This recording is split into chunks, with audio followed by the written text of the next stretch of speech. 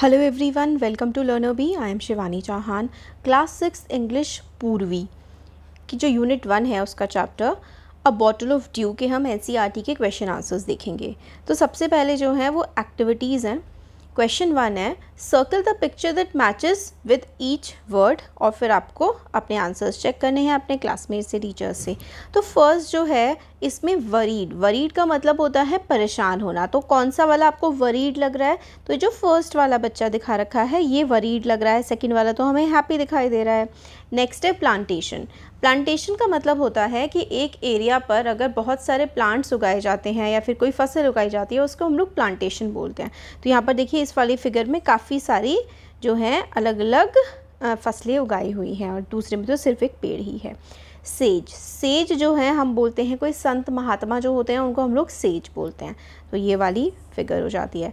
Surprise का मतलब होता है हैरान रह जाना। तो हैरान होता है ना, मुँह खोल के हैरान रह जाते हैं तो ये वाली पिक्चर हो जाती है। तो यहाँ पे ये है। नेक्स्ट है question answer these questions discuss them with your classmates and teacher तो पहला है think of a time when you worked hard what did you do then आप अपने अकॉर्डिंग इसको ले सकते हैं कि कौन सा ऐसा वक्त था जब आपने बहुत मेहनत करी और उस टाइम पर आपने क्या किया था? तो ये एक मतलब आंसर है। आप अपने अकॉर्डिंग भी आंसर लिख सकते हैं। तो आप इस तरीके से जैसे कि I worked hard at the age of eight in cleaning and tidying the room. Things placed in their proper places looked tidy तो मैं आठ साल का था, तब मैंने अपना कमरा साफ़ किया था और जब मैंने साफ़ कर दिया था तो वो बहुत ही अच्छी तरीके से मतलब चीज़ें लग रही थी।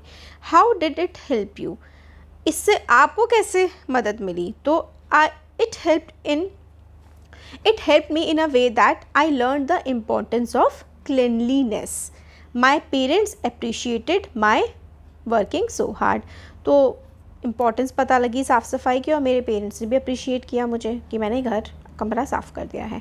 How did it make you feel it made me feel good तो इस तरीके से आप लोग लिख सकते हैं। बाकी आप जो है, अपने अकॉर्डिंग भी आंसर इसमें बना सकते हैं। ये आपकी सेल्फ लर्निंग वाली चीज़ है। अब हम चैप्टर के क्वेश्चन आंसर पे आ जाते हैं। तो क्वेश्चन वन है व्हाट डिड रामनाथ बिलीव तो रामनाथ का बिलीव क्या था? Ramnath believe that there was a magic potion it could turn any object into gold तो जो रामनाथ था, उसको लगता था कि कोई एक मैजिक पोशन होगा, कोई एक इस तरीके की चीज़ होगी जो हर एक चीज़ को सोने में बदल देगी। पोशन आप कोई कह सकते हैं, जैसे कि कोई लिक्विड होगा, उसको आप लोग पोशन बोल सकते हैं। क्वेश्चन टू है how did the sage help Ramnath तो सेज जो संत थे, उन्होंने रामनाथ की मदद कैसे करी?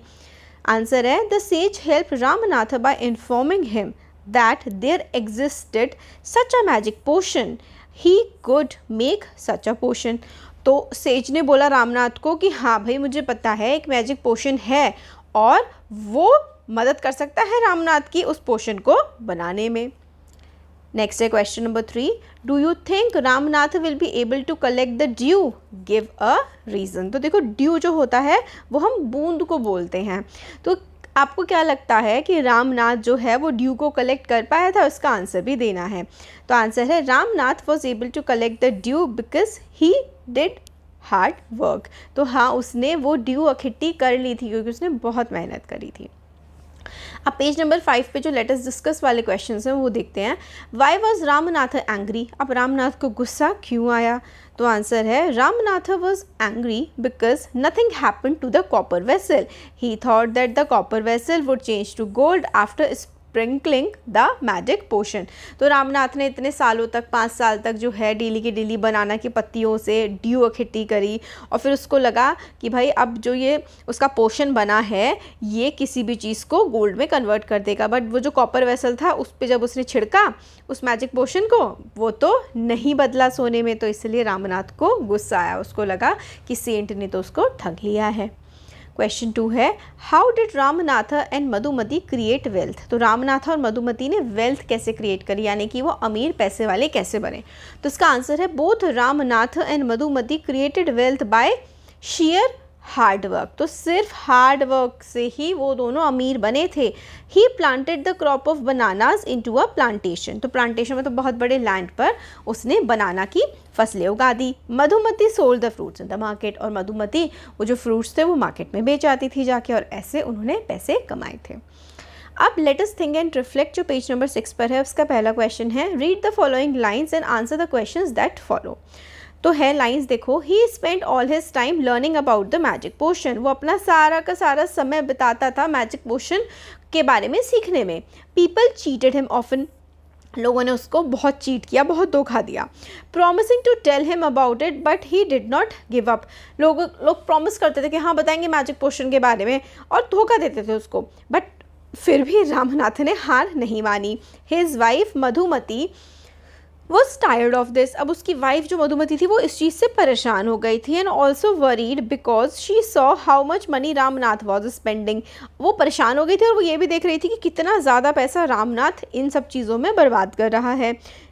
She was sure that soon they would be out of money तो उसको लगा, मधुमती को कि अगर ऐसा ही चलता रहा तो कुछ समय के बाद तो उनके पास पैसा ही नहीं बचेगा। अब सेंटेंस को कंप्लीट करना है हमें। Ramnath did not give up because Ramnath ने गिव अप नहीं किया, क्यों?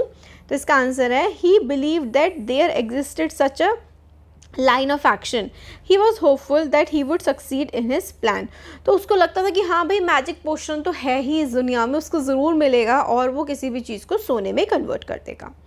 नेक्स्ट है देखो read the column which shows what happened and write the correct outcomes in the next column तो वट हैपन्ड क्या हुआ और उसका आउटकम क्या निकला? People promise to tell Ramnath about the magic potion तो लोग प्रॉमिस करते थे कि रामनाथ को मैजिक पोर्शन के बारे में बताएँगे। अब इसका रिज़ल्ट यानी कि इसका आउटकम क्या निकला? बट नथिंग हैपन्ड कुछ भी नहीं हुआ. दे ओनली चीटेड हम कुछ भी नहीं हुआ. लोग उसको सिर्फ़ चीट करते थे। और he thought that it would happen Ramnath को बस ये लगता ही रहता था कि कुछ हो जाएगा, कुछ हो जाएगा बट कुछ होता नहीं था actually Ramnath was spending a lot of money वो काफ़ी सारे पैसा जो है, वो स्पेंड कर रहा था बट कुछ भी उसका रिज़ल्ट नहीं निकल रहा था. तो ये आउटकम हो गया बी का. अब ट्रू फॉल्स बताना है। Madhumati was troubled about what her husband did क्या मधुमती परेशान थी जो उसका हस्बैंड कर रहा था? तो ये तो बिल्कुल सही बात है, मधुमती तो बहुत परेशान थी। Ramnatha was very happy digging his field Ramnath क्या बहुत खुश था अपने फ़ील्ड को खोदने में? तो नहीं, खुश तो नहीं था। The sage wanted to show the right path to the Ramnath तो ये तो बिल्कुल सही बात है सेज जो है, वो रामनाथ को सही रास्ता दिखाना चाहते थे। अब आगे देखो carefully he took the bottle to the sage तो वो जो उसने बूंदे भरी थी उसकी, वो बड़े ध्यान से सेज के पास लेके गया। The sage smiled and muttered over the water तो सेज जो है, उन्होंने स्माइल किया मटर किया, कुछ बड़बड़ाया उस पानी के पास। Then he return the bottle फिर बॉटल को वापस कर दिया and said try it out आप इसको ट्राई करो. Ramnath sprinkled a few drop on a copper vessel अब रामनाथ ने कुछ बूंदे जो हैं, वो कॉपर वेसल पे गिरा दी and waited for it to turn gold और वेट किया कि वो सोने में बदल जाएगा।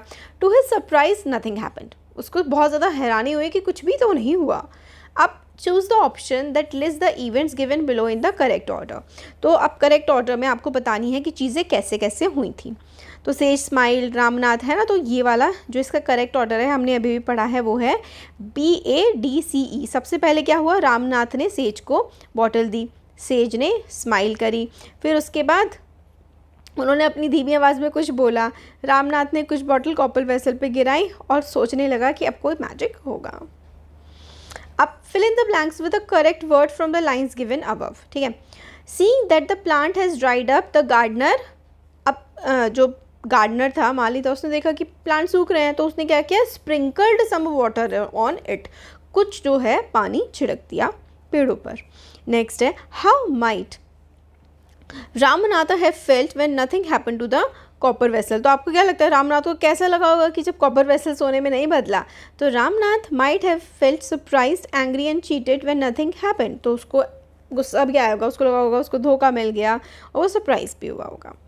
नेक्स्ट है answer the following question what did the sage ask Ramnath to do to make magic potion Ramnath से सेज ने क्या कहा कि भाई, ये करो और मैजिक पोशन बन जाएगा?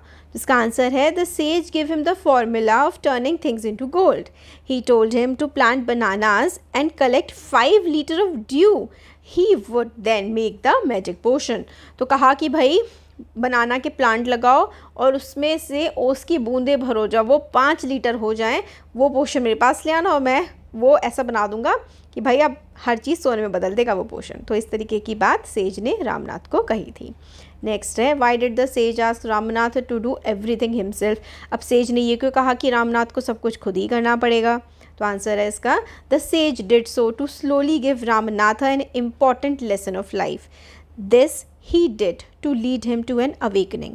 It was to teach him about working hard. तो सेज क्या चाहते थे कि भाई वो रामनाथ को सिखाएँ कि हार्ड वर्क की क्या कीमत होती है इसीलिए उन्होंने कहा कि ये जो ड्यू है, तुम्हें खुद ही कलेक्ट करनी होगी सारी की सारी, खुद ही प्लांट लगा के नेक्स्ट क्वेश्चन है how could Ramnath have a big banana plantation after six years अब छः साल बाद रामनाथ की इतनी बड़ी बनाना प्लांटेशन कैसे बन गई? तो आंसर है इसका।